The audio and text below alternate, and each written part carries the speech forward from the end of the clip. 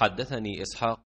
حدثنا النضر أخبرنا شعبة عن أبي جمرة سمعت زهدم بن مضرب سمعت عمران بن حسين رضي الله عنهما يقول قال رسول الله صلى الله عليه وسلم خير أمتي قرني ثم الذين يلونهم ثم الذين يلونهم. قال عمران فلا أدري أذكر بعد قرنه قرنين أو ثلاثا ثم إن بعدكم قوما يشهدون ولا يستشهدون ويخونون ولا يؤتمنون وينذرون ولا يفون ويظهر فيهم السمن